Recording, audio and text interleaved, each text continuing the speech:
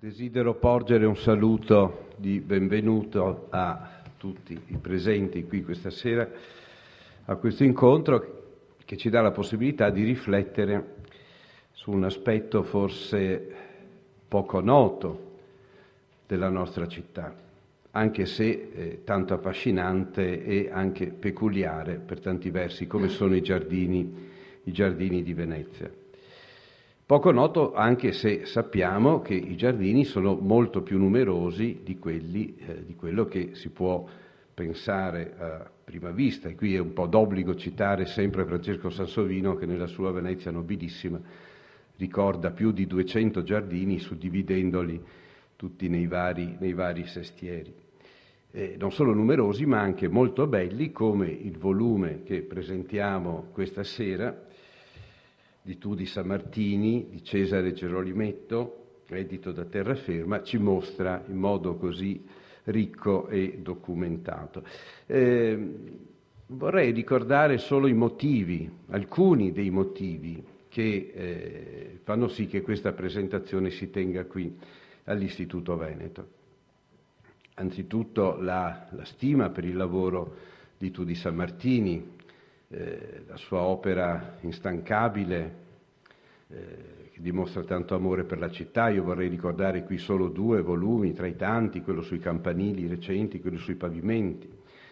La stima grande per eh, la fama internazionale del fotografo Cesare Gerolimetto, eh, la possibilità di avere due eminenti studiosi qui eh, come il professor Augusto Gentili e il professor Patrizio Giulini, eh, l'impegno della casa editrice. Un'altra ragione è ovviamente quella del fatto che proprio qui fuori dalla porta abbiamo uno dei giardini che sono ritratti nel volume, qui abbiamo questa bellissima immagine.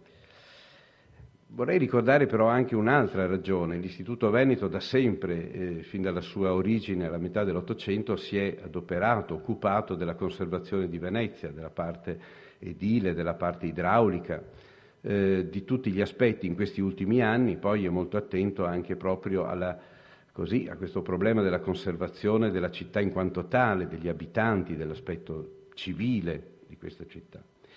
Tra le centinaia di lavori che sono stati pubblicati, centinaia e centinaia di lavori che l'Istituto ha pubblicato su questi temi, permettetemi di ricordarne uno eh, del 1974, una quarantina d'anni fa, eh, di Mario Padoan e Alessandro Marcello, eh, dove vengono pubblicati i risultati di una ricerca diretta da Eglet Rencanato nell'ambito dell'Istituto Universitario di Architettura di Venezia, che è proprio sui giardini di Venezia. È un, uno studio preliminare quello che ha pubblicato l'Istituto Veneto, ma è uno studio attento, c'è una rilevazione botanica di Alessandro Marcello. Alessandro Marcello è un nome molto caro all'Istituto, è stato eh, amministratore per molti anni dell'Istituto Veneto, lo ricordiamo anche come presidente della Fondazione Querini, c'è una bella nota storica con delle, delle osservazioni urbanistiche. Scorrendo stamattina, io ricordavo vagamente questo saggio, stamattina l'ho, l'ho, l'ho scorso e ho trovato una frase che mi ha eh, decisamente colpito. Eh, si legge il livello generale di conservazione e di agibilità dei giardini esaminati è decisamente scadente. E subito eh, mi sono posto la domanda eh, se i giardini a Venezia in questi ultimi 50-60 anni sono mediamente migliorati o eh, mediamente peggiorati nella loro conservazione. Questa è una domanda che va naturalmente lasciata agli esperti. Permettetemi un ricordo eh, personale. Io ho fatto le elementari dalle suore Meldine, ai Miracoli, a San Ganciano.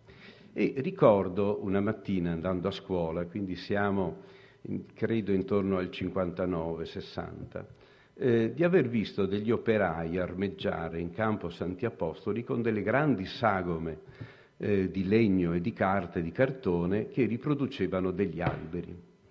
Eh, era per eh, come dire, fare le prove visive della, dell'impianto degli alberi che poi sarebbero stati eh, impiantati. Quindi io ho questo ricordo di Campo Santi Apostoli, Campiero della Cason, di tanti altri campi veneziani, prima che venissero impiantati gli alberi. Cioè, voglio dire, questa evoluzione dell'attenzione eh, nei confronti del verde, nei confronti degli, del, dei giardini a Venezia, è decisamente dirò cambiata, spero anche migliorata. Posso anche pensare che come effettivamente è migliorata molto la qualità della conservazione edilizia degli edifici veneziani, basta guardare i documentari di Pasinetti degli anni 50, eh, tutti ne abbiamo un'impressione terrificante dello stato di degrado dell'edilizia eh, cittadina. Certamente eh, nonostante i tanti problemi che, che, oggi abbiamo di altra natura, certamente l'edilizia eh, veneziana è molto migliorata nella sua conservazione, forse anche i giardini.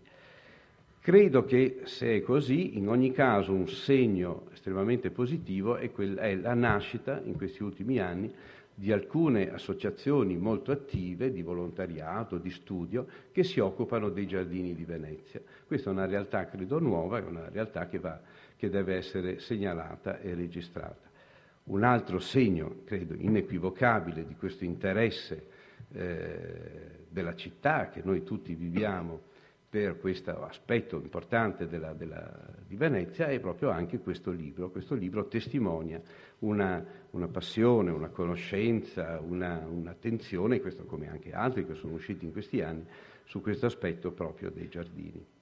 Ehm, questo per quanto riguarda quindi i motivi per cui oggi noi siamo qui, quindi sono adesso particolarmente lieto di dare la parola subito al professor Augusto Gentili, noto a tutti noi a Venezia, è un nostro, dire, frequentatore eh, assiduo alle attività del nostro istituto, quindi sono molto lieto di dargli subito la parola. Grazie.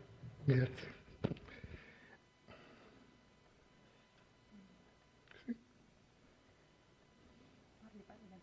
Eh, ma io ho bisogno subito di questa immagine, sì, sì.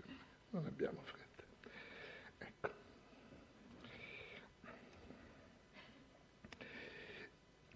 Eh, io sono uno storico dell'arte, ma non uno specialista di giardini.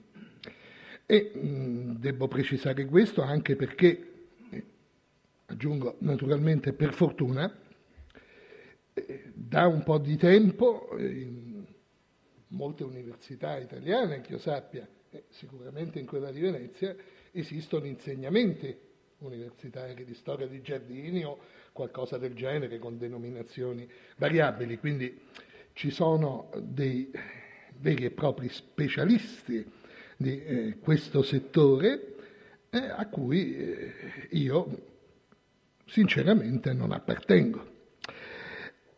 Allora cosa posso fare oggi? Eh, intanto fornirvi una serie di impressioni anche personali eh, che, vengono, che mi vengono dalla decente conoscenza della città di Venezia, eh, non dico più, più che decente, per modestia, e e da foresto per quanto da lungo tempo trapiantato.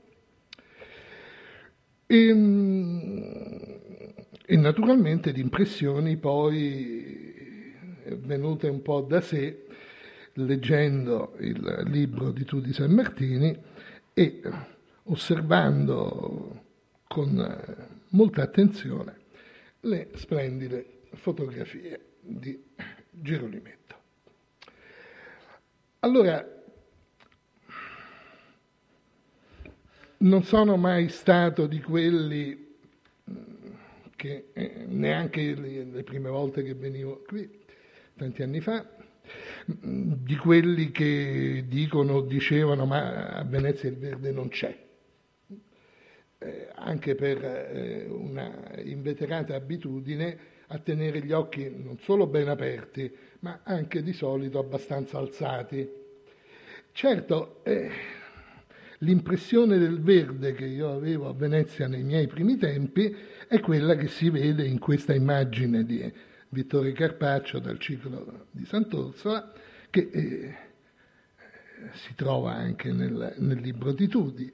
Eh, il verde eh, lo vedevo regolarmente dietro a un muro. Quindi lo immaginavo, lo pensavo, lo desideravo, lo invidiavo. pure, naturalmente.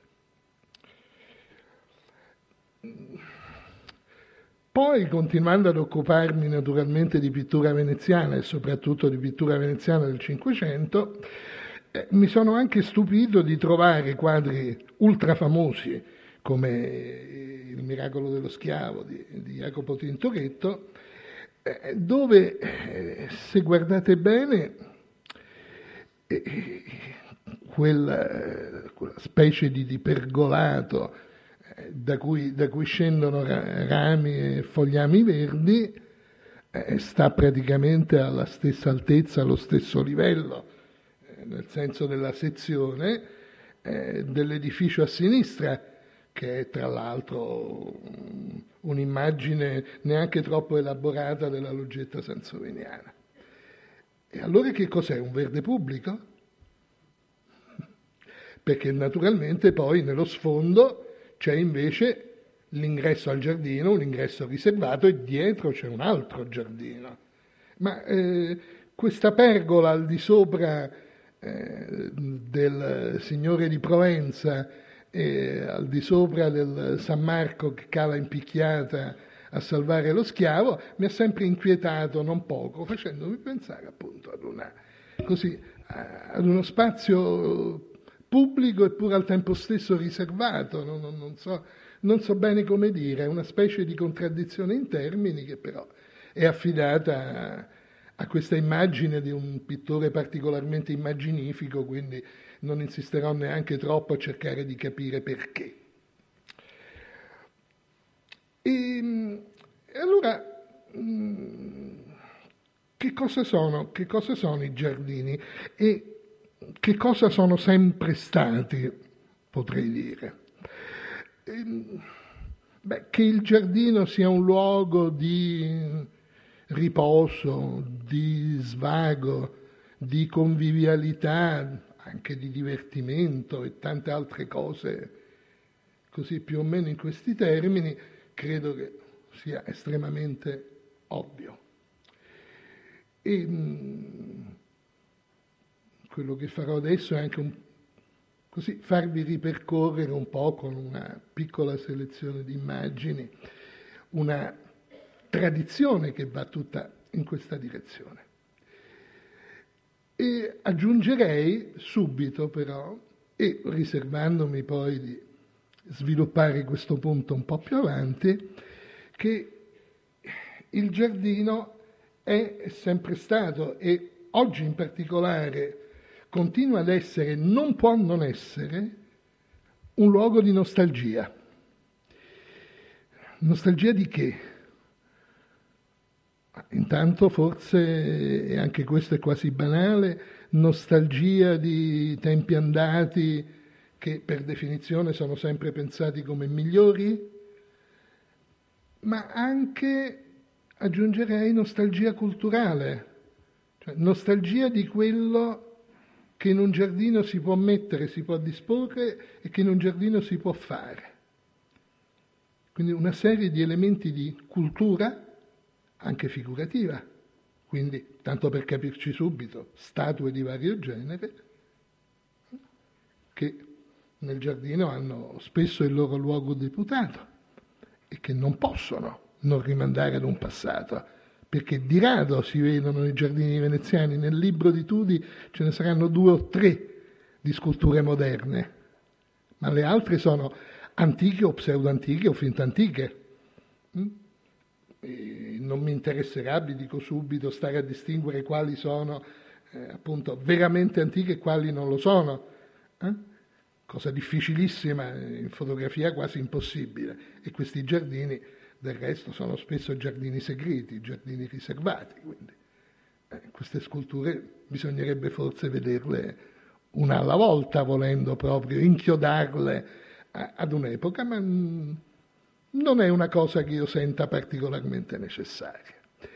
Allora, eh, questa immagine, quella che fra un attimo seguirà, sono due immagini dal famoso incunabolo del Decameron di Giovanni Boccaccio, eh, stampato nel 1490 o 91, non mi ricordo più, da, eh, dai fratelli De Gregori, eh, Francesco non c'entra, e, e, che è uno, uno, degli incunaboli più famosi, eh, incunaboli veneziani più famosi, con eh, delle xilografie di eh, particolare interesse e qualità. E mh, naturalmente il luogo dove eh, si raccontano le cento novelle è un parco. Eh?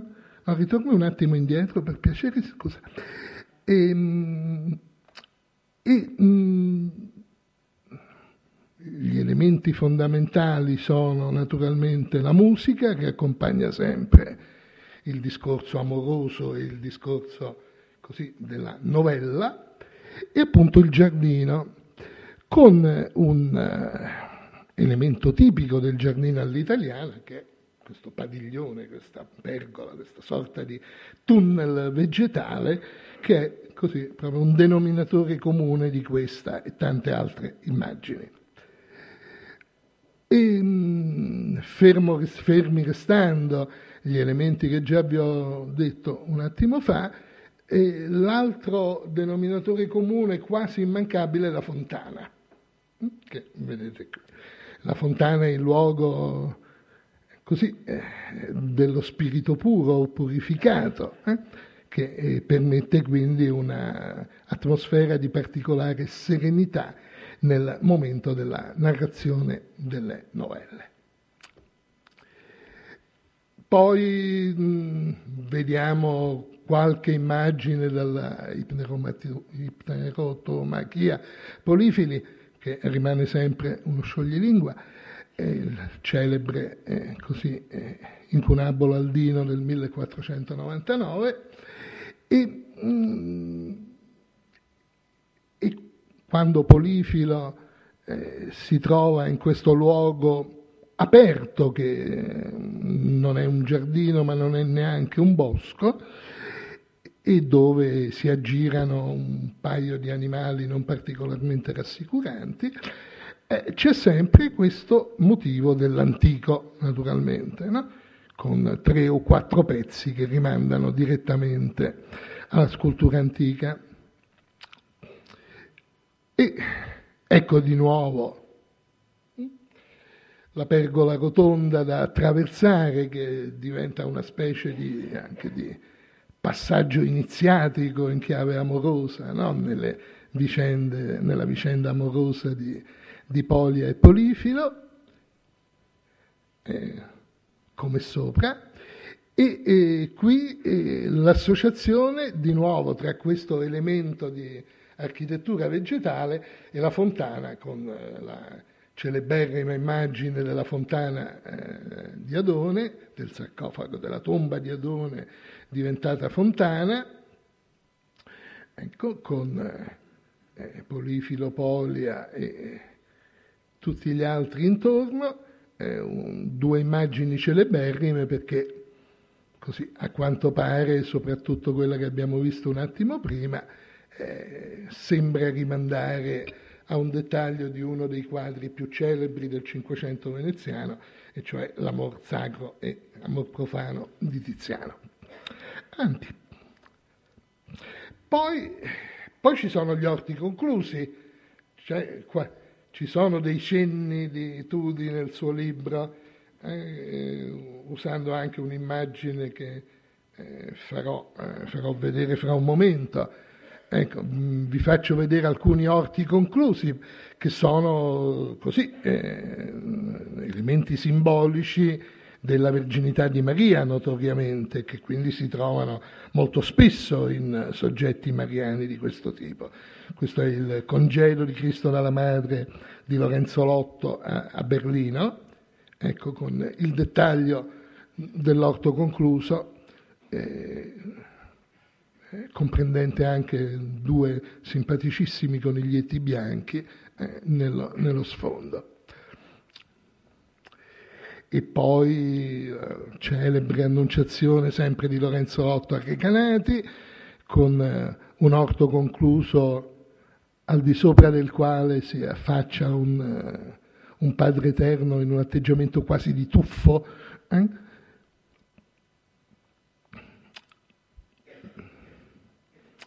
E, e, naturalmente poi il simbolismo dell'orto concluso può essere anche esteso al di fuori del personaggio di Maria Vergine e quindi può stare anche a segnalare la castità di Susanna, quindi un tema biblico. Eh? naturalmente la sua castità finché sta all'interno di quell'orto concluso, che è quello nel secondo piano, quando poi entra nel bagno, nella piscina, e allora naturalmente scattano tutti i pericoli perché non c'è più quell'elemento simbolico a fare la garanzia. E questa è l'immagine che anche Tudi ha messo nel suo libro. Eh, questo però non è un orto concluso, è un orto aperto, ovviamente è una, è una singolare Madonna con santi che in realtà poi rimanda al tema della fuga in Egitto, del riposo nella fuga in Egitto, perché se guardate bene, tra la figura di Gerolamo e quella di, di Maria c'è eh, Giuseppe che sta parcheggiando l'asino. E, e però il, il, simbolismo botanico, vegetale, come volete chiamarlo, è fondamentale all'interno di tutta la pittura 4-500esca veneziana, a partire dal fatto intanto che questa, eh, splendido, questo splendido dipinto viene regolarmente denominato Madonna dell'arancio per buoni motivi, perché l'albero sotto cui sta Maria è un arancio e l'arancio che, credo che sappiamo tutti che è l'albero della sposa eh? e Maria è la sposa. Eh, dopodiché eh, vedete che se Maria è l'albero, eh, Cristo bambino è invece il nuovo virgulto, eh? quindi il rametto che esce fuori non si sa bene da dove e che connota così anche in termini di simbolismo botanico il, la continuità e il rapporto madre-figlio. E, ehm, credo che il più straordinario orto conchiuso, eh, il più straordinario nel senso che è anche il più ricco, e anche il più difficile da elaborare, stia in questo dipinto ancora, ancora un po' misterioso, non del tutto, ma insomma, cioè questo che di solito si denomina Cavaliere eh, di Vittorio Carpaccio nel Museo Thyssen eh, da qualche anno ormai, da più di qualche anno a Madrid, e, mm, ma magari di questo particolarissimo orto conchiuso e al tempo stesso aperto, e mm, se rimane tempo ve ne parlerò, ve ne parlerò alla fine. Ecco,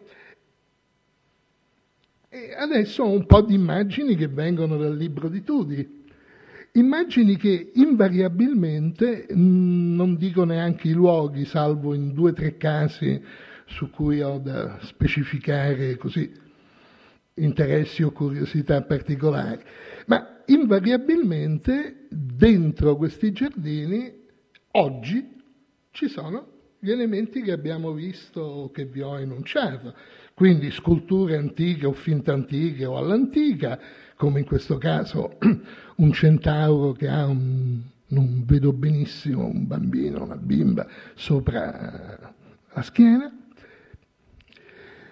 Beh, questo mi è molto caro e molto noto perché eh, per uno che sta eh, continuamente sul percorso che porta verso l'università, verso l'università il, eh, il, ponte, il, ponte, in Callelonga San Barnaba così, è un ponte non iniziatico ma obbligatorio e quindi questa, questa doppia terrazza devo dire, ha attratto le, i miei sentimenti, soprattutto quelli di invidia che dicevo all'inizio, in maniera molto chiara. Ecco, putti bacchini, putti con frutta, putti con uva, ecco, credo di averne messo adesso 4 o 5. Eh? Pure, eh? Ecco. Li possiamo vedere anche abbastanza rapidamente. Qui c'è una sagra del vino. Questo mh, non so bene, ma credo che potrebbe essere un Ganimede, visto che è un adolescente così efebbico di bell'aspetto, che se non sbaglio ha una coppa nella mano destra, quindi potrebbe. Potre, potrebbe. Gli hai nascosto qualche elemento, magari. No. no. l'hai vestito un po', va bene. ecco, anche la ninfa l'hai vestita tu? Sì, eh, immaginavo. Certa, eh, sì, sì, sì, questo me, lo ricordavo. Ecco. Mm, mm, mm. Beh, queste, queste, due ultime sculture sono particolarmente affascinanti, devo dire. Ecco, poi un paio di, di nuovo di pergole a padiglione, eh? Eh? questa anche con... Eh, piano, è partito solo, torna, torna indietro un po' po', un po' ancora. Ecco, eravamo qui, sì. Sì. Vai, vai. Vai, vai. Ecco, ecco, il putto e la fontana, naturalmente, quindi sempre gli stessi elementi. Ancora? Eh, beh, questa immagino che non sarà una pescivendola, ma una naiade. Sì? Beh, ma infatti io l'ho detto con qualche intenzione, ovviamente, ma per farti reagire un po' naturalmente. Ecco, e un altro elemento, eh, però abbastanza raro, eh, ma c'è, quindi diciamolo, è un tantino di esotismo. Ecco, l'alternativa ai grandi modelli, diciamo una parola impegnativa, ai grandi modelli del classicismo, eh, che, che, è tutto quello che abbiamo visto fin qui, è, è, è un, tanto, un tanto di esotismo perché questi due custodi sono evidentemente due prigioni, sono, hanno anche un piede incatenato e hanno un aspetto decisamente così eh, esotico, asiatico, non, non, non, so bene. Ecco, avanti.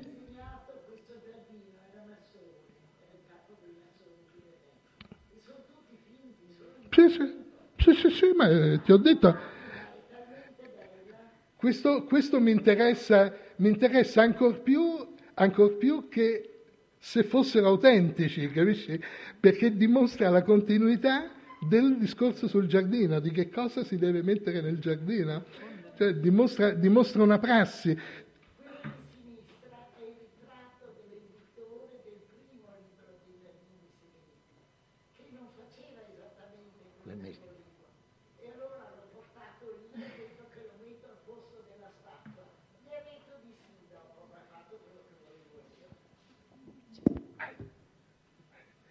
Ecco, e poi, ma questi ce ne sono altri in città, anche fuori dai giardini, come ben sappiamo, questi servitori turchi o comunque orientali inturbantati che portano doni eh, di frutti.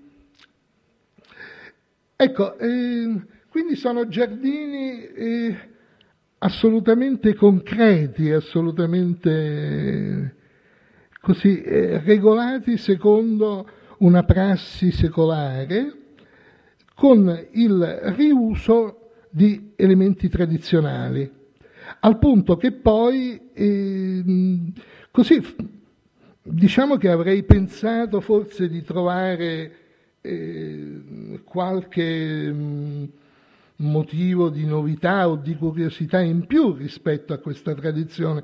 L'unico che forse ho trovato eh, questo giardino non a caso di una pittrice, no? eh, che ha disposto degli specchi che naturalmente moltiplicano questo gioco di, di foglie in, in, maniera straordinaria. Ecco, questo è, rispetto a questi giardini molto concreti, è l'unico tentativo, per usare una, così, un'alternativa ben nota e fin troppo ovvia, l'unico tentativo di un pizzico di, di giardino astratto. Questo l'ho messo soltanto perché mi assomiglia e un po' di sano narcisismo. Ecco. E questo, eh, anche questo per narcisismo, perché eh, questo è il giardino di Tiziano e ho letto che eh, tu gli dici lo sto restaurando nel tuo libro dici che lo stai restaurando. Bene, eh, io abito a 30 metri da, dalla casa di Tiziano e qualche volta ho, insomma, ho, ho, tirato fuori, sai come nei fumetti quando si vede l'occhio che esce, no? Eh, ecco, cercare di vedere qualche cosa, di cosa rimane di questa mitica casa Ibiri. Eh? che una volta dava direttamente sulla laguna. Eh, mi pare da questa immagine che su questo giardino ci sia molto da lavorare, eh? sono, sono, molto curioso e quindi era una specie di, ecco, una, una specie di tentativo di incastrarti vie più in, nel restauro di, di, questo giardino. Poi gli orti, eh, questa è una cosa che ho molto gradito. Eh? Questo excursus non sul giardino ma proprio sull'orto, eh, ci sono sia orti così, che appartengono ovviamente a comunità religiose e eh, anche eh, orti più, così, eh, di, più laici. Ecco, eh, questo è ovviamente l'orto del Redentore con uno splendido grappolo d'uva, anzi più di un grappolo, e l'orto delle Clarisse con i carciofi. E, um, no, si, e, e allora io qui vi vorrei leggere un, una cosa che mi piace molto. Ehm, molti di voi forse sanno che, di nuovo anche per narcisismo e somiglianza, eh, eh, io mi ritengo un sosia eh, di Pietro Aretino, che non è come molti di voi credono eh, lo scrittore porno del Cinquecento, ma il dominatore della cultura veneziana del Cinquecento, dal 1527, quando arriva a Venezia trasfuga dal sacco di Roma, fino al 56, quando schiatta, a quanto pare durante un banchetto, per un eh, aneurisma, così almeno vuole la tradizione. Trent'anni di dominio assoluto in cui io, che sono un tizianista, eh, rilevo però che senza l'Aretino a fargli da supporter, il Tiziano che noi conosciamo sarebbe oggi la metà eh, di quello per l'appunto che conosciamo. E mh, mm, Aretino e Tiziano avevano tra i tanti amici comuni un amico formidabile che è l'editore Francesco Marcolini, un fordivese trasferitosi a Venezia dove divenne il più importante eh, editore d'avanguardia in quegli anni, eh? mm, che non stampava più i grandi classici come Aldo o soprattutto i testi così della eh, tradizione anche religiosa come Giolito, ma eh, stampava proprio le avanguardie, quindi che so, i libri dell'architettura di Sebastiano Serlio ecco, e altre novità, i classici moderni come poi, come poi si disse. Ed è l'editore, per l'appunto, di Pietro Aretino, che tra l'altro, per chi non lo sapesse, ha scritto ben sei libri di lettere, inventando il genere epistolare, per l'appunto, e questi sei libri di lettere sono una fonte straordinaria e ancora troppo poco battuta sulla cultura veneziana di quei trent'anni che prima vi ho indicato. Marcolini aveva un orto a Murano e eh, usava mandare all'Aretino le primizie, eh? quando le primizie erano ancora primizie e non venivano dall'Argentina.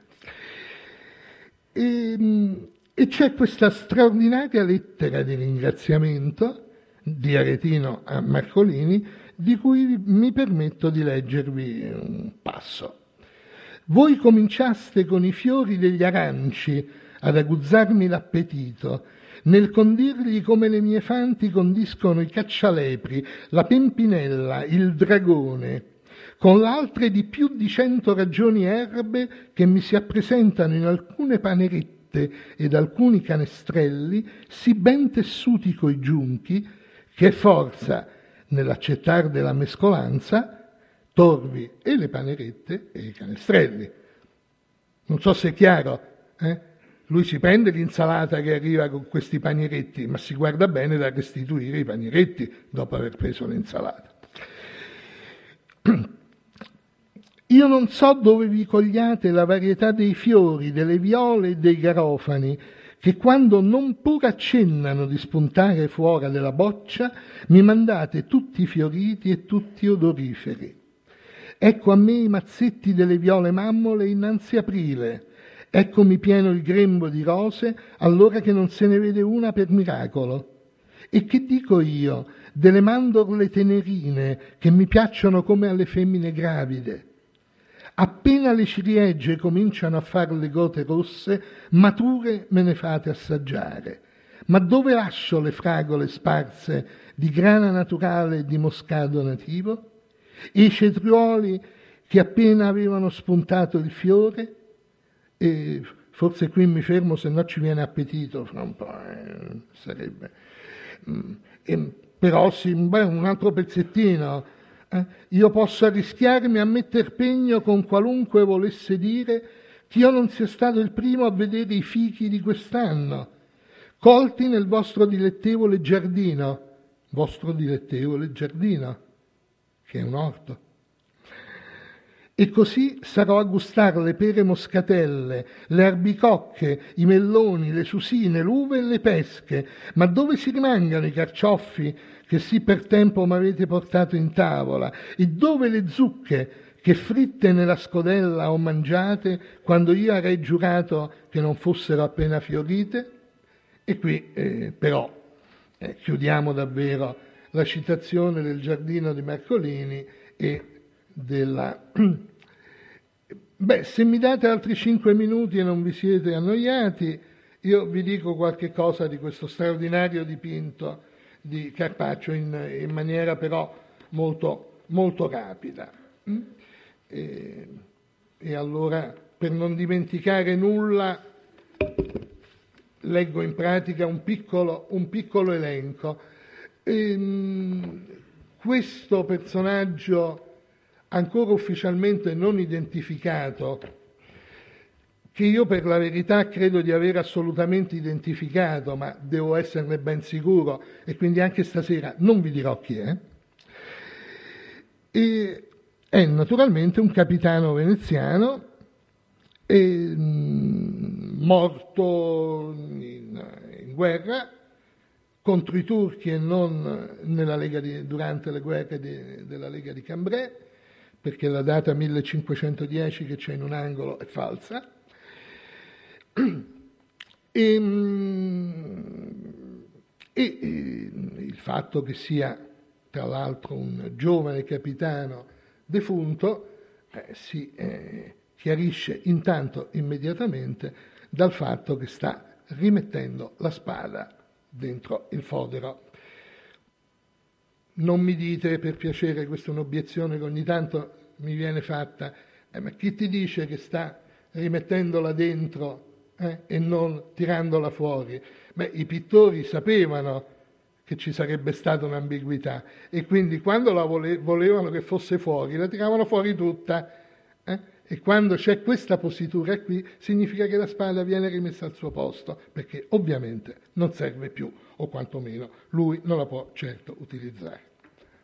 Ecco, e vi faccio vedere questa, questo straordinario giardino.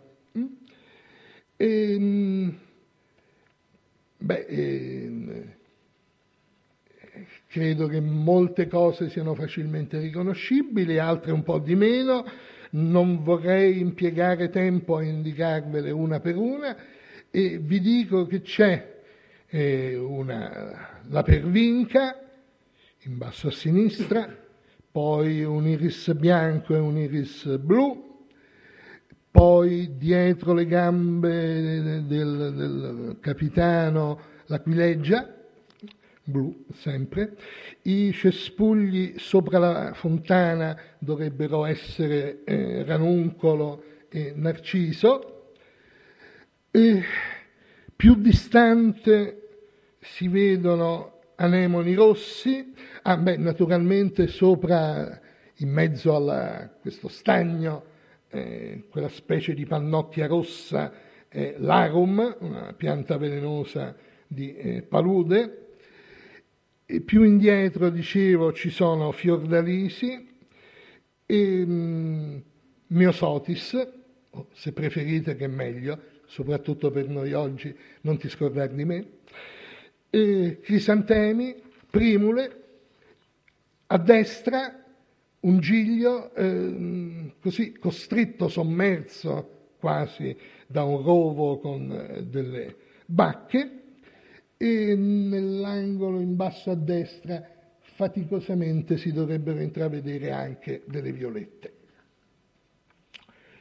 Sono tutti fiori e piante che indicano morte, rinascita, virtù, onore. Questo è un capitano che è morto onorevolmente e che vuole riaffermare attraverso il simbolismo diffuso nella pittura del suo tempo la sua integrità evidentemente messa da qualcuno in discussione. Vi faccio notare che lui sta sul sentiero, in mezzo a questo giardino, un sentiero arido, un sentiero sassoso, eh? dominato anche, se vi ricordate l'intero, da un albero quasi completamente eh, disseccato. Ma c'è questo prato fiorito di eh, piante, fiori, che sono tutte simboli della sua situazione e della virtù, nel grande senso umanistico, con cui questo capitano ha eh, affrontato la difficile situazione. E, e la via arida è appunto la via della virtù che attraversa il giardino del dolore, della morte, della rinascita e soprattutto, come dice quel fiorellino delizioso che si chiama per l'appunto Non ti scordare di me, è il giardino della memoria. Vi ringrazio.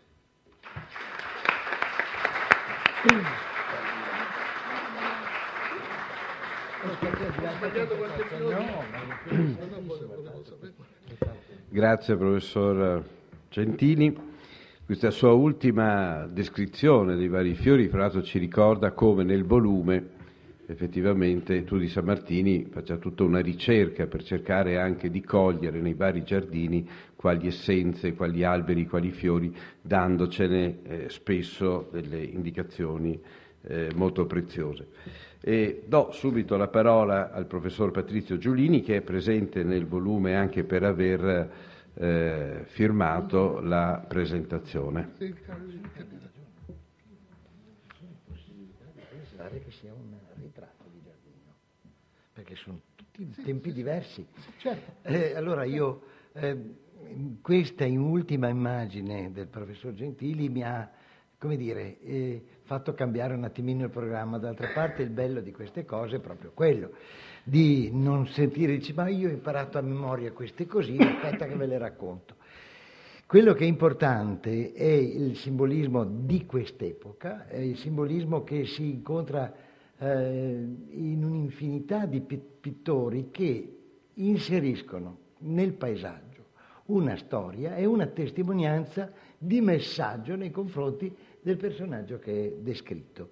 E dice, beh, questo ha ritratto, cosa che facevano con una delicatezza e una precisione assoluta, eh, non cito autori, ma ne potrei citare tantissimi, che eh, ritraggono il singolo fiore con la sua parte vegetativa accanto nel posto giusto dov'è con una fedeltà assoluta, tanto da permettere al botanico, a distanza di 400-500 anni, non solo di dire è quella specie, ma se sappiamo la data del quadro, possiamo avere la certezza che quella pianta era già a Venezia in mano al pittore per poter essere ritratta se veniva invece da un paese esotico. Ma il bello del, di questo e di tanti altri quadri, soprattutto successivi è che quei magnifici trionfi di fiori, o nel caso specifico testimonianza di messaggio di contenuto del personaggio principale, sono, eh, non sono mai esistiti. Cioè quell'enorme vaso con, mi è capitato di determinarne uno di 72 specie diverse, non è mai esistito per la semplice ragione che accanto a un fiore di primissima primavera, ce ne sono di autunnali. E qua vediamo le stesse cose con l'arum che è già in frutto, quindi in pieno luglio-agosto, il giglio che è molto prima perché è di giugno, il, la, l'aquilegia che è ancora precedente e così via. Ecco che il, lo storico dell'arte può dire, ci sta raccontando delle frottole nella realtà storica, perché ci vuol dire qualcosa di più. Ed è questa la cosa che credo abbia aperto tutto lo studio sul simbolismo e sul messaggio. In questo caso vediamo il tronco d'albero tranciato alla loro destra o l'albero che sta cominciando a perdere le foglie perché è appena morto, cioè sta morendo alle spalle del personaggio principale. E direi che la ragione per cui un botanico con le mani sporche di terra e sotto le unghie il nero del, del terriccio eh, si entusiasma di fronte a queste cose perché sa che ci può essere un connubio straordinario fra lo storico dell'arte, decisamente, come posso dire, privo di mani sporche e tutto il resto, con il quale lavorare in perfetta armonia. Io ho avuto la fortuna di trovarmi coinvolto in alcune occasioni con queste cose e direi che io mi sono arricchito enormemente perché non avrei mai immaginato di poter eh, testimoniare con certezza qualcosa che ovviamente lo storico dell'arte intuisce ma ha bisogno di, un, di, un, di una conferma. Questo vale per Lotto, vale eh, per Cima da Conegliano, ma per tutti Bellini a Vicenza ne ho fatto un, una descrizione. Vedere, la prima volta mi, present- mi portano a Pistoia per vedere un quadretto, io mi aspettavo un Bellini grande qualche metro quadrato e mi ritrovo una tavoletta che non è più grande di così, che poi ho rivisto al Quirinale, e con, ci siamo salutati addirittura perché poi diventa un amore profondo anche per queste cose e,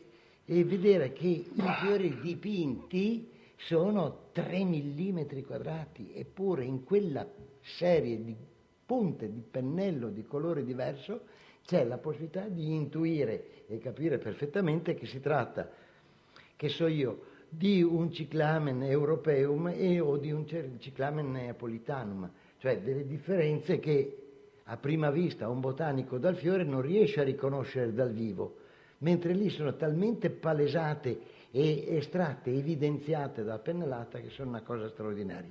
Comunque a questo punto non devo dare una continuità ai nostri discorsi perché siamo qua per un'altra ragione, per parlare male del libro di tu di San Martini. È, ma il bello della, che io la conosco da qualche anno, molti, eh, ma non è bene che dica di una signora che ci conosciamo da oltre dieci anni. In realtà, in realtà va no, millennio scorso, se è per quello, ma non ci vuole molto per dimostrarlo. Ma quello che è è bello che quando ho letto, anzi ho letto la prima stesura, poi l'ho riletta, beh, è la solita Tudi, piena di vitalità, di, di, di immagini, di ricordi personali che si intuiscono dentro con quell'amore che la accompagna. Ma il bello della faccenda è che quando mi sono rivisto, mi sono visto il libro per la prima volta eh, nella sua interezza, con l'immagine di un personaggio che non conoscevo e che ho imparato a, eh, diciamo, stimare. Amare non sta bene per un uomo, eh, ma eh, stimare per la qualità dell'immagine. So benissimo che c'è stato più di una lite fra loro due per riuscire a ottenere quel risultato, però ricordatevi che stavate litigando anche con la natura.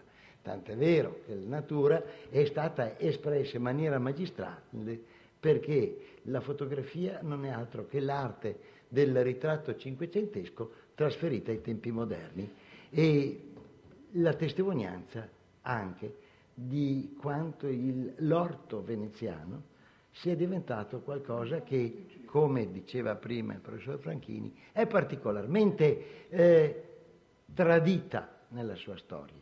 I giardini che noi vediamo oggi, per carità, non possiamo mummificare anche i giardini. Io sono il primo che, che se ne dica, io sono un conservatore estremo, ma eh, est modus in rebus, non possiamo eh, mummificare un giardino perché eh, ciascuno di noi sulle finestre di casa propria, se mette un geranio delle ultime generazioni, ha sicuramente un geranio più bello di quelli che avevano le loro maestà Sabaude, se preferiamo, del sud dell'Italia a Caserta 200 anni fa, perché la storia della botanica si è evoluta in maniera straordinaria. L'Ateneo ha da qualche parte un lavoro del professor Pignatti e mio su questo argomento, le, chiedo scusa, l'istituto che è, è, lì, prima o poi verrà fuori, soprattutto il ricordo di Sandro che non sta più bene come una volta.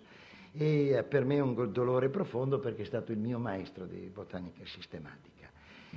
Ma dicevo, in questa documentazione noi abbiamo la testimonianza di questo discorso del tradimento veneziano del proprio orto, è diventato un giardino, molte volte è diventato sua sponte, non del padrone, ma della natura. Eh, oggi c'è una prevalenza di specie esotiche, ma che si sono sovrapposte, sono state, cioè si sono introdotte, non sono state sovrapposte. Mi spiego meglio. Eh, un veneziano che si porta dalla montagna o se compra dal vivaista delle piante introdotte recentemente nel proprio giardino, lo può fare, soprattutto se il giardino è il suo, se alle spalle non ha qualcuno che ha progettato qualcosa di meglio. Ma se si sente in grado di essere all'altezza della storia del suo giardino, liberissimo di piantare anche una specie esotica. Sarà poi la natura che gli dirà hai fatto bene, oppure la pianta muore, hai fatto male e ne, sarà pronto quello spazio a ricevere un'altra pianta. Ma il problema è che invece ab- abbiamo delle, dei sopravvenuti, degli estranei, degli estranei locali, una pianta comunissima che tutti i veneziani conoscono, che è il bagolaro, che sta diventando il padrone di casa nei giardini veneziani. Ma non è merito dei veneziani, è merito del bagolaro, grazie agli uccellini, a tante altre cose che lo portano e trasportano. D'altra parte il bagolaro è specie spontanea, pertanto si diffonde liberamente. Sta a noi sparare non tanto agli uccellini che lo portano in giro, quanto alla pianta, una volta germinata, toglierla se lì è un surplus. Ma accanto a queste ci sono tutte le sopravvenute esotiche con altri tanti semi eh, che eh, provengono portati dal vento, pensiamo, in copertina del libro qua al centro. Ailanto, una pianta che io odio con tutte le mie forze, malgrado sia una pianta, guardate la copertina e vedrete, è stupenda, soprattutto perché ha una fioritura di un colore straordinario nel momento giusto, in cui invece del verde butta fuori quelle infiorescenze, quelle fruttescenze, perché stanno trasformandosi in seme, quello che poi ci metterà nei guai eh, che è ro- rosso, di un rosso eh, aranciato molto bello. Eh, questa, ahimè, è nel divenire delle cose, è quello che mi trovo purtroppo a San Giobbe troppo spesso, di eh, piante di nessun valore dal punto di vista non botanico ma dal punto di vista naturalistico che arrivano lì e siccome oggi sono noi non siamo abbastanza ancora leghisti veneziani, malgrado la tradizione non sono leghisti, per cui il foresto non sa neanche che se foresto e se ottiene. E quello provvede a dire bene, distruggo, distruggo, gli distruggo il giardino con la stessa cattiveria che suppongo che, che il buon Umberto Bossi abbia nei confronti di chi arriva da fuori. E chi arriva da fuori è lì che imperversa nei nostri giardini in maniera eh, ingiusta e vorrei dire disonorevole. E accanto ci sono delle cose straordinarie, come per esempio il, ehm, l'oleandro che per primo viene illustrato nei cinque libri delle piante da un veneziano di pura razza, il Micheli, che lo ritrae addirittura non solo nella, fiore, infiorescenza, nella infiorescenza più tradizionale, che è quel rosa intenso, straordinario, ma anche nel bianco, per far sapere, farci sapere, lui li pone nella stessa pianta, una bestemmia botanica, però non ha importanza, quello che è straordinario è la testimonianza, solo che arriva con i suoi libri troppo presto, non c'è la possibilità di trasformare quel libro dipinto, disegnato e dipinto a mano in un'opera divulgativa che 200 anni dopo invece il Micheli fiorentino riesce a fare, per cui lui è un grande botanico, il nostro povero Michele è solamente un disgraziato che è morto di peste. Eh, ma ragazzi, era un botanico straordinario, fa di quelle descrizioni spontanee. Eh, mi ricordo la Tudi in questo modo di descrivere. Cioè, ho piantato una pianta, la, dis- la disegna, capiamo subito che è una melanzana.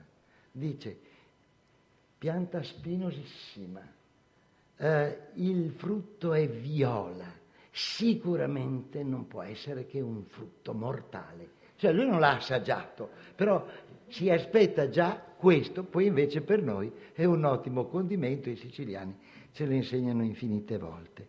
Venezia ha alle sue spalle specie che ha introdotto da, dalla, da Soria, dalla, dal credo che sia Siria, no? il vecchio, e la eh, trasposizione della parola, da paesi conquistati da Roma e che Venezia eh, afferma come propri, ma per commercio, non per conquista.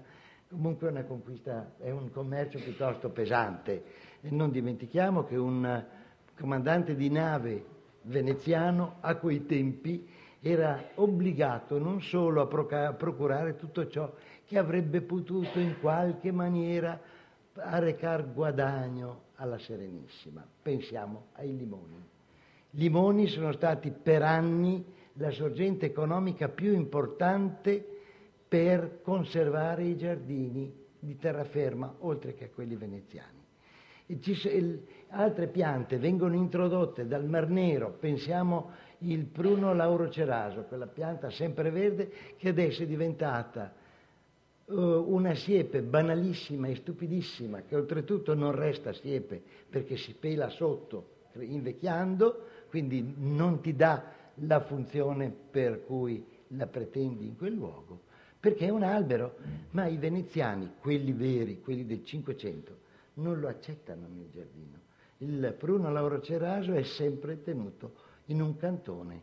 Adesso lo troviamo presentissimo. Contemporaneamente invece i veneziani portano in città il, lo chiamo alla veneta, il pittosforo, cioè Pittosporum tobira, quella pianta magnifica a Venezia e già brutta a Padova, perché a Venezia la salsedine la tiene purificata dai suoi parassiti. A Padova non c'è la salsedine e la pianta ne soffre.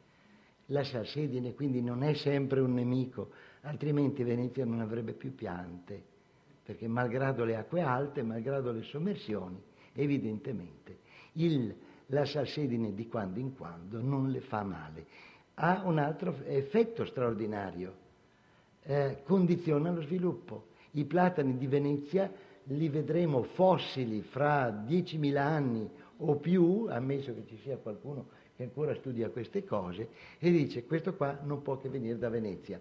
È basso, tarchiato, molto più conico, d'altra parte non può salire in alto, perché l'acqua salata è, è una fonte di aridità per la presenza del sale. Risultato che si deve esprimere in maniera più bassa. Padova abbiamo platani, avevamo platani di 50 eh, metri e più, Venezia, quando arriva a 20 metri, è già tanto, proprio perché ha questa esigenza di, eh, eh, di acqua, ma di acqua buona, non di acqua salata. Quindi l'acqua salata condiziona. Condiziona per esempio ai giardini della Biennale, eh, condiziona i tigli, quelli che abbiamo visto prima per Palazzo Franchetti, eh, in una maniera incredibile gli apparati radicali sono talmente schifati di dover vivere in quel fango salato che voi vedete la ceppaia che si allarga in una specie di tavolo da cui al centro parte la pianta. Questo per allontanarsi il più possibile e avere un po' più di stabilità, perché Venezia, il Mose da una parte il, po- il ponte Calatrava dall'altra lo testimoniano, è a bagno nell'acqua e quando non è acqua liquida è fango, ma talmente liquido comunque che tutta la città si muove e ha bisogno di sostenersi. E qua eh, sto andando lontano dal tema del, del giardino descritto magnificamente da Cesare Gerolimetto e poeticamente dalla Tu di San Martini, abbiamo quella Venezia che vediamo oggi, che non è la Venezia dell'orto, una, sono giardini che hanno subito le trasformazioni, ma quelle che mi vanno bene sono la presenza, che so, del, um, del nespolo del Giappone, che è raro perché non è di facile coltivazione e l'uomo riesce ad averlo nel proprio giardino con lo scopo di essere fiero di quella pianta, con quelle foglie magnifiche, eh, così tormentate nella forma da creare tutti quei chiaroscuri che la rendono affascinante, più quel frutticino stupidissimo perché più seme che non il resto, acidulo che ai bambini fa un piacere infinito. Ma accanto a quello ci sono purtroppo le, so, le palme. Venezia non è città di palme. La palma non è esistita a Venezia, malgrado qualche illustrazione inventata, e lo vediamo eh, dal Bellini, per esempio, che quando inventa le palme non le ha mai viste in vita sua, credo, e quindi le fa come le racconta la storia, molto lontane dalla verità. Oggi abbiamo nell'Europa una palma giapponese, Trachycarpus fortunei, che è bellissima, non lo nego, però guarda caso ha avuto la fortuna durante la conquista di Tripoli. Tripoli bel suol d'amore. E contemporaneamente, siccome a Tripoli crescono le palme, abbiamo finalmente una palma che vive anche a Venezia, mettiamo il Trachycarpus fortunei, il quale dilaga, diffonde e imperversa perché pur essendo maschi e femmine, quindi dovrebbero incontrarsi un maschio con una femmina per poter avere una progenie, ma il vento provvede a risolvere i problemi per cui si trasmettono il polline l'uno con l'altra e l'altra naturalmente fa migliaia di semi che vengono trangugiati dagli uccelli e opportunamente disseminati in giro. E di palme giapponesi ne abbiamo un'infinità.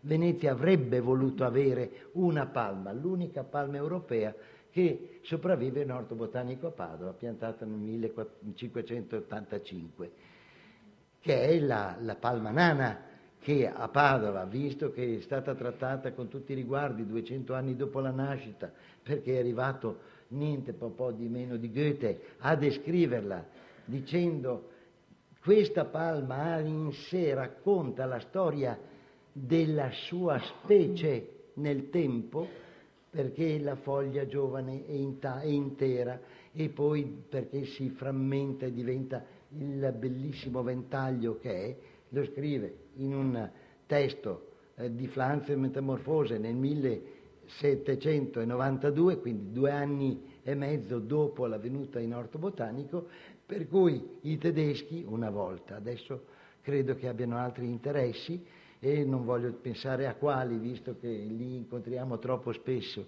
per televisione, almeno certuni, un po' più, più torsoli e un po' meno sensibili alla poesia delle piante.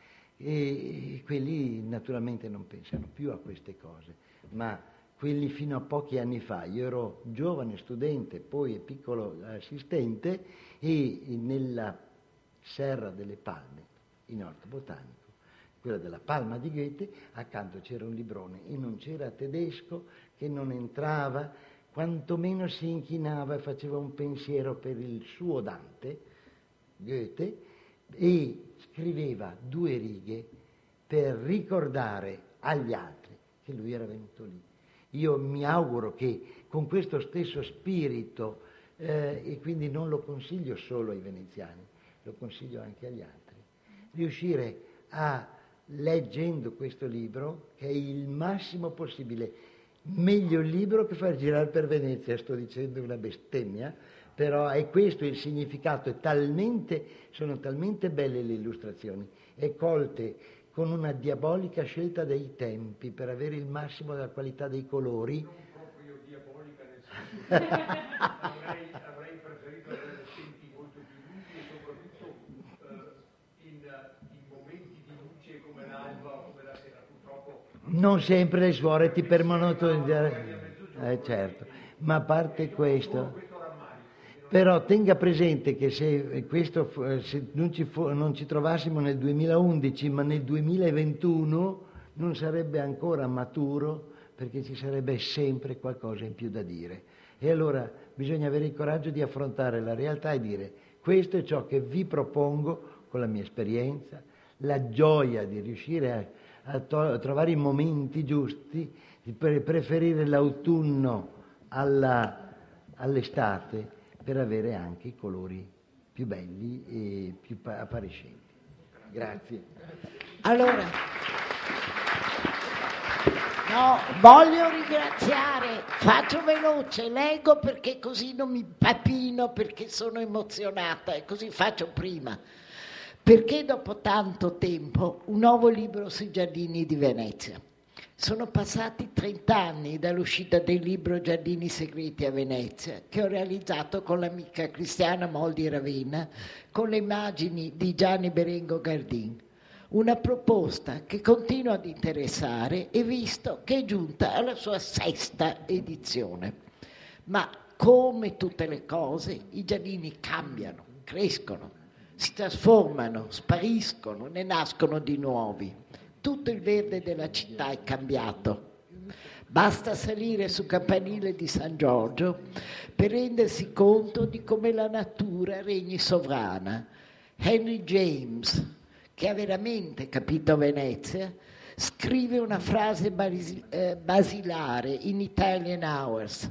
Senza le cose che crescono, Venezia sarebbe solo un fatto di pietre e acqua.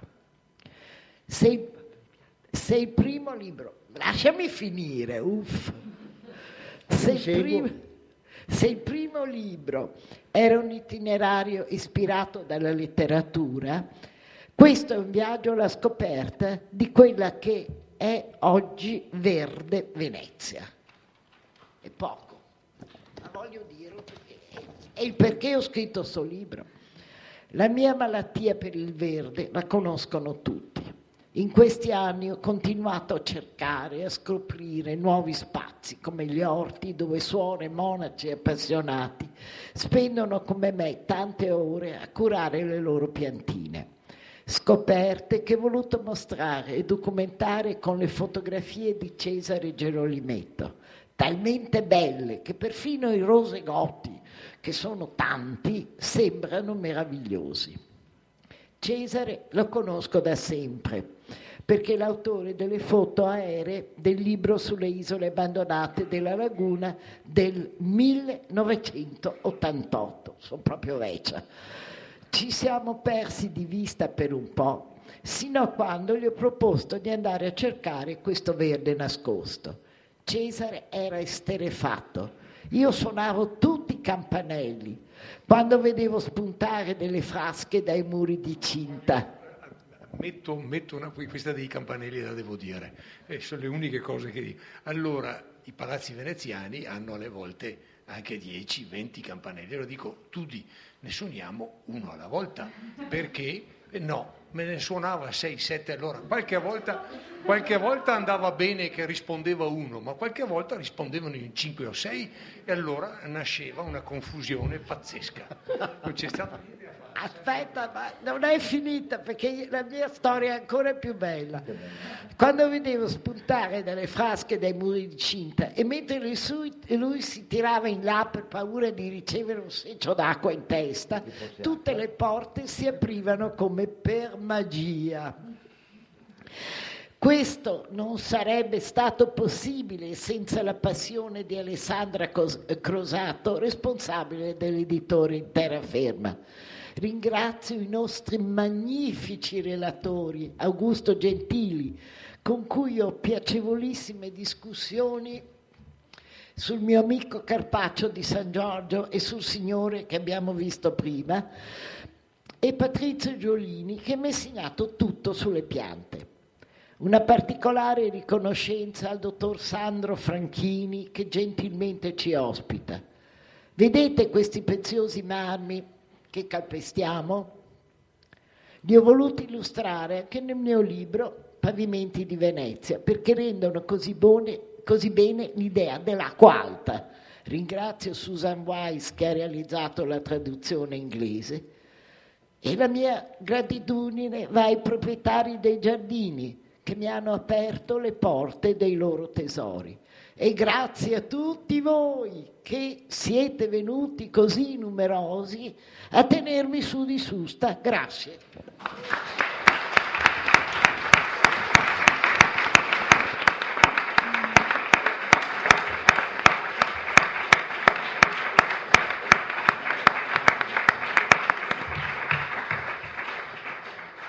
Siamo noi che ringraziamo Tudi per questa opera, le facciamo i migliori auguri per la prossima alla quale forse sta già pensando e mm, siamo tutti invitati a un aperitivo che si tiene nella sala accanto e vi ringrazio ancora, anche a nome del Presidente, professor Danieli, di questa bella serata, di questa bella occasione che si è tenuta in qualche modo in giardino. Grazie.